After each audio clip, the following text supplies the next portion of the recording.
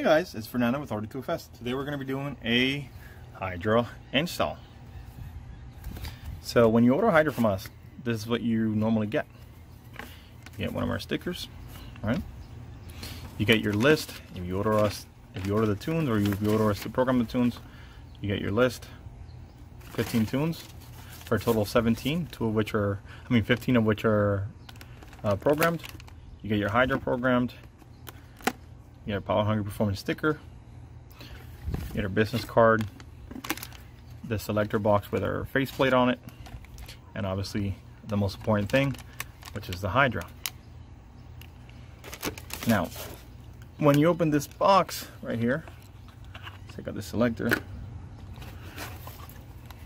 you're gonna have a brass brush to clean the PCM connections, Scotch-Brite to polish them up,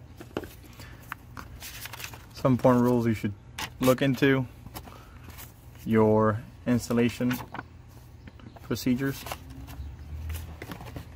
and we include a six foot uh, cable so you don't have to remove your Hydra if you ever want to reprogram it again and obviously the, the ribbon cable and zip ties. To be able to install the Hydra we're going to have to undo the 10 millimeter bolt. It's in there. That got right there. Once you open your truck, you'll have to reach the part of the PCM. The PCM is located right here. One bolt here, the other bolt up there. I will put in the video now. You'll need a seven millimeter socket to remove the PCM.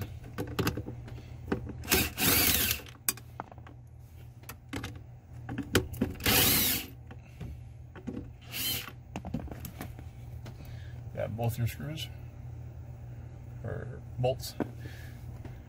Very important clip. That metal clip, don't lose it. You know, pull towards this way. Towards the brake pedal and towards the seat. And it comes right off. Right? X goes towards the fender. Right? And then here is your uh, PCM code. NVK5 in this case. Right? DPC 422. Then we're to take out the PCM. Once you got your PCM, right, again, this X goes to the fender. This is your uh, PCM code, MBK5. I'm gonna take this guy out of here, right? This right here is a PCM that has never been touched. We know because of the sticker. Grab yourself a uh, flathead and pop this guy out.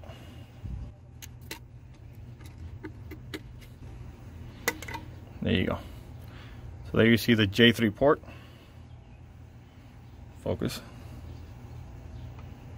J3 port that has to be clean. The famous silicone that everybody does wrong. To get access to the PCM, you're going to need a 5.5 millimeter socket to remove the six screws that hold this guy together.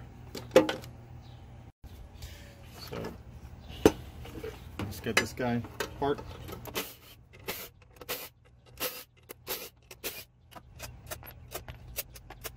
So we get this guy apart. You're gonna see your silicone coated J3 port. You're gonna see uh, very clean tin colored connections right there. And now we gotta take this guy apart. Once you pop open your PCM, right, you're gonna get a lot of guys who are like, yeah, I cleaned it, man. Uh, I have issues, it doesn't work, this thing doesn't really work, blah, blah. I'm like, did you clean the underside? And they're like, what? The underside? What? There's an underside? I didn't know. Well, yeah, there is. So now we're gonna show you how to properly clean that J3 port so you don't have any connection issues. Once you gain access to this PCM, right, you're gonna have access to, again, that J3 port that needs to be cleaned on both sides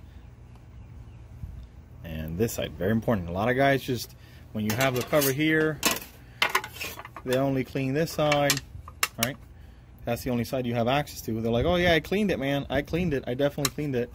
In this case it'll be this way. Yeah this way. You're ready to clean this thing right? A lot of guys are gonna be like yeah let me clean this with the old Scotch-Brite or let me clean this with this first. No. Grab you the base.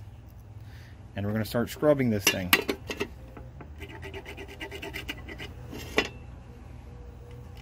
Especially in between, let me see if I can a close up of this. In between the connections. See that? See how you have all the that silicone coming out? You have to scrub that stuff out.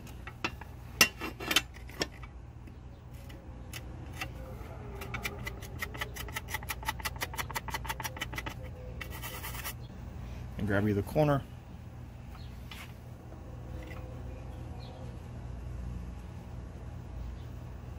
Gonna go individually on each of the pins and in between the the pins. Alright. I'm gonna fast forward this.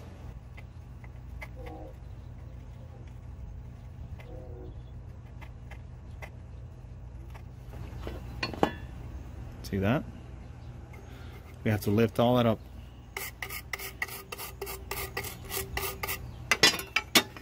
Now we're gonna go and clean on the pins. Be careful though.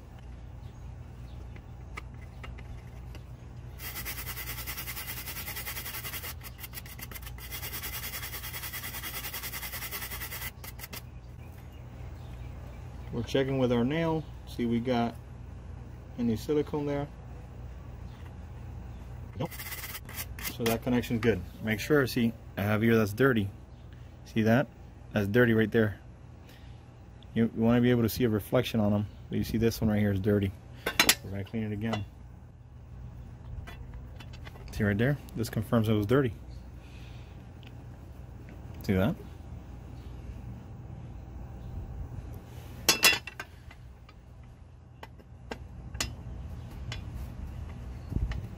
Alright, that's all clean. Gonna get a Scotch-Brite. Polish this thing up very, very, very easy, very simple.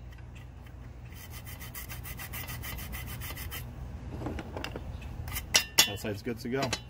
So now let's put this back together. So we can do this side right here. This side's a little bit tricky. There's barely any space for you guys to see, but Again, we're doing the same thing. See that? See that? That's the silicone that we're scraping off. Very important.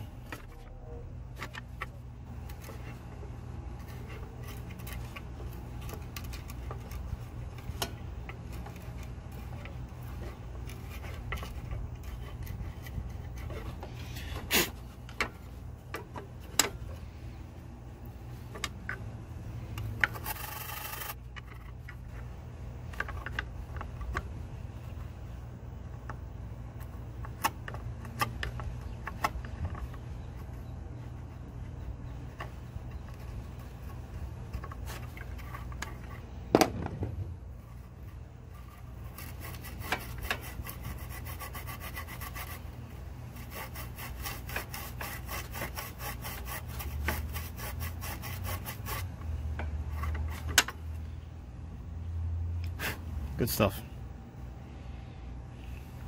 Now, should we clean this?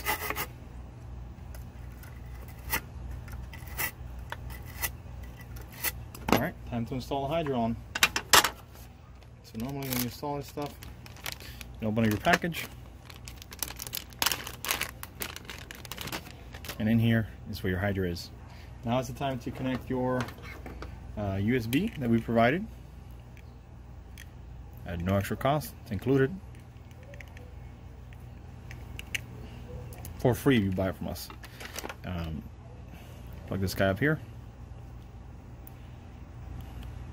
Now I like to um, use the um, zip ties that are included. Normally two zip ties are included, but that's for people that um, don't want to notch out a rectangle on here. I always like doing that. I always like notching out a rectangle here and instead I like using one of the zip ties for this purpose right here. Maybe it's not meant for that, but I personally do that. Run this through here. Right?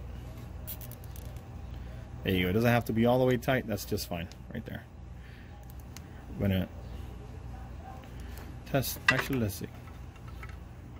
Yeah, we can actually make this tight. So, make this tight. There you go. I'm gonna trim this off. All right, we're back. Trim this guy's off. There you go. So now, don't forget, very important, this guy. This guy has a little step right here. See that? That's gonna go on this side. So make sure you do that correctly. All right, so now we're gonna run this thing like this, all right? We're gonna run this through here. All right, we're gonna push that on there. That's what it should look from this side and from the other side, right? So now we're gonna bolt this guy up.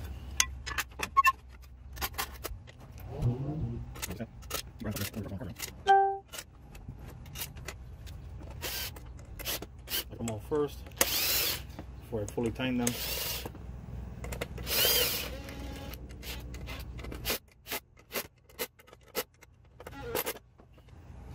There you go. So this is what your PCM should look like after it's all said and done. Now the more important step right now, well the most important step at least for me is adding duct tape to here so you can secure your Hydra. If you don't do that and you hit a bump or a pothole, something like that, the Hydra's going to walk out through the vibration and it's going to fire PCM and or the Hydra. And or both. We get some duct tape. Alright, so we got our duct tape. We got some isopropyl alcohol pads to clean this so that the um, duct tape can grab. Alright, clean the other side.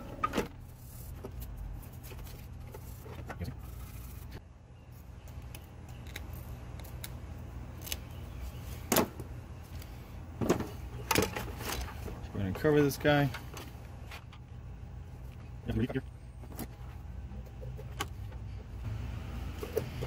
You should have a relief cut so the ribbon cable has no pressure like that, right? That's to the other side.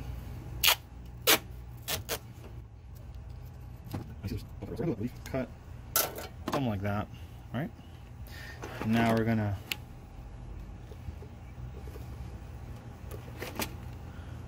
see do something like that, right?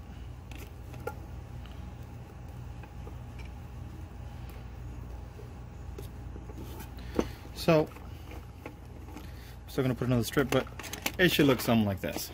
You guys get the point. Duct tape that holds the Hydra in, right? And you have some reliefs to have your ribbon cable come out and your USB cable come out.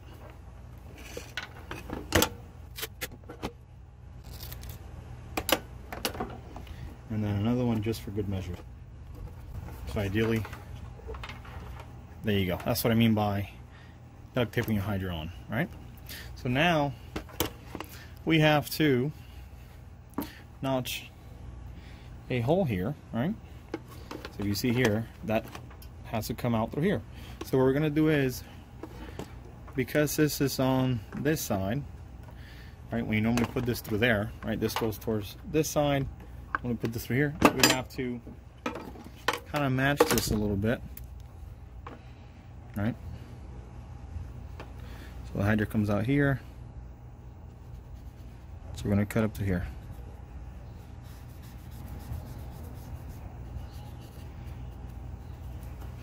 So that's what we would notch out. I have a vibrating saw here that I'm going to use to notch that. Something like this. right? I'm to literally notch that out little by little, test drive it or test fit it or whatever, and, and then um, we'll go back again if we need to cut again. So again, be careful. Don't lose that clip in there. Very important, that grounds out the PCM. Don't lose it. Now move the PCM out of the way. All right. And then now we're going to notch this little thing out.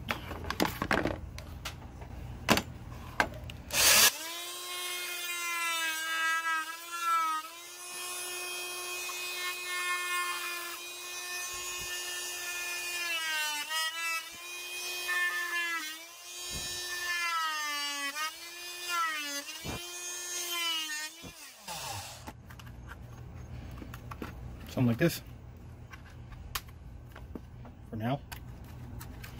Going to test fit this thing and then we may have to expand it right after we test it, right? Let me trim this down a little more. Every light. So, uh, yeah, so now we're gonna trim this extra lip right here. See that? We're gonna trim that part.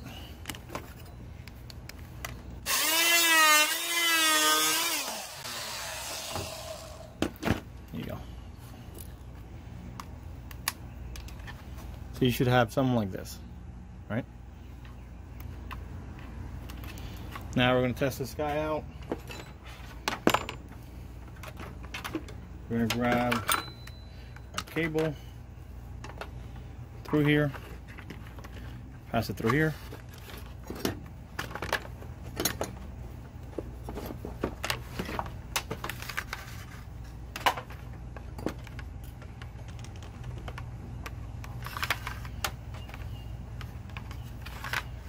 All right, now we're going to grab our ribbon cable, do the same. All right, pass through here. So now we're going to test fit our computer. We're to pull these guys out of here, out of the way. There you go. That's almost perfect but I still want to take out maybe say a quarter of an inch more. So we're gonna go back to cutting this thing or trimming this thing a little more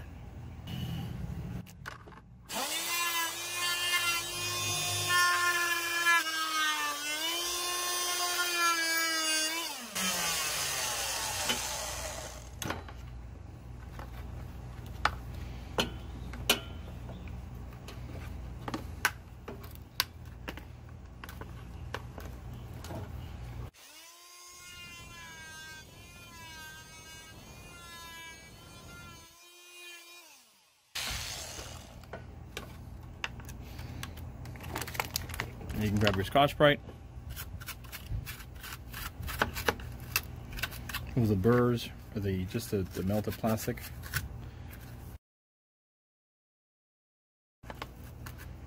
There you go. And now we're going to test the same thing. We're going to run the USB cable through here. We're going to run the ribbon cable through here, the data port cable. And we're going to test this guy out.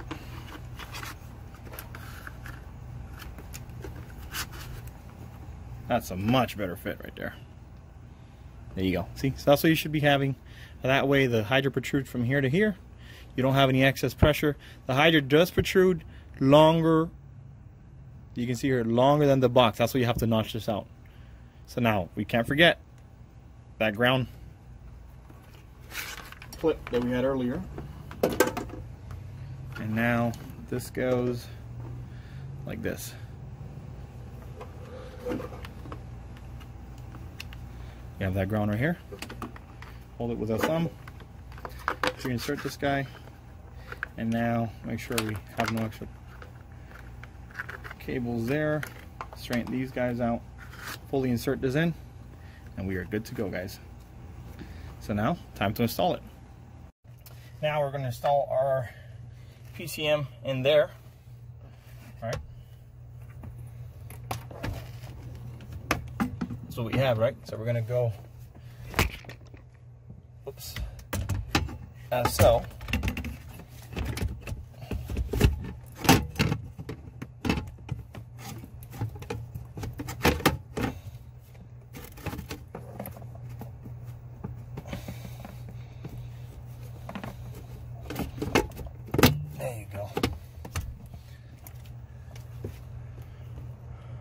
Grab our seven mil bolts. Again with the ground clip.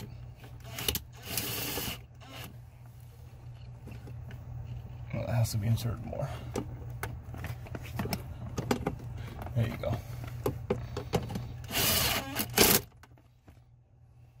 second bolt.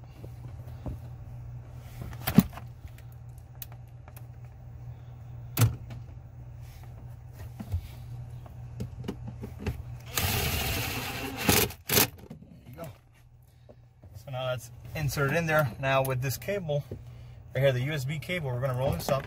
We don't need it right now. Hydra's already programmed.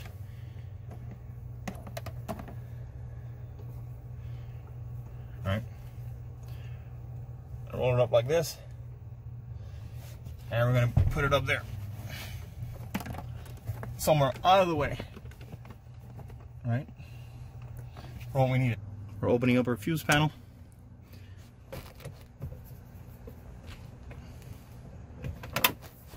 All right. Now we're gonna grab that USB cable and route it in here actually.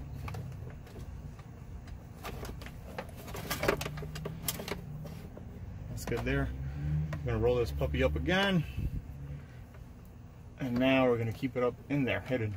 So anytime the customer needs to put his tunes or change his tunes, then uh, he can do that. And we're gonna pull this guy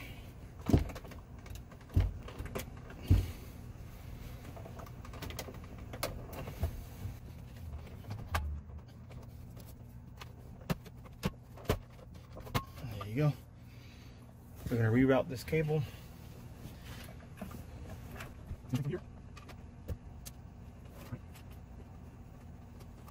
And now run this up through here. We're gonna run it by here. Now we're gonna grab our selector box. Right here. Same thing, remember that notch? In this case, it's right there. So, put this here. Now before we pick an area and put it on there or whatnot, we're gonna check with the key to see if uh, when we power it on, the Hydra has power. All right, so once you grab your um, alcohol prep pad and clean this area up,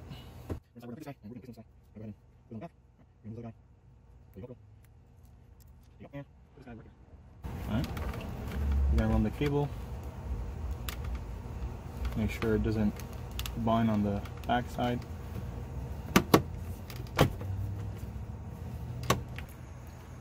Let's do the key on, see if it works.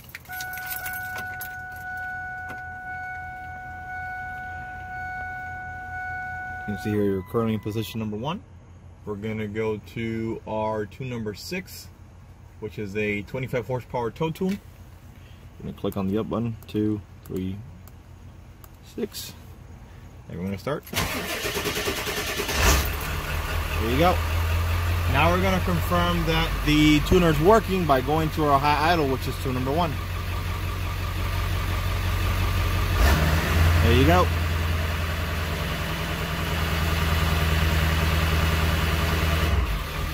Now let's go to a whisper tune.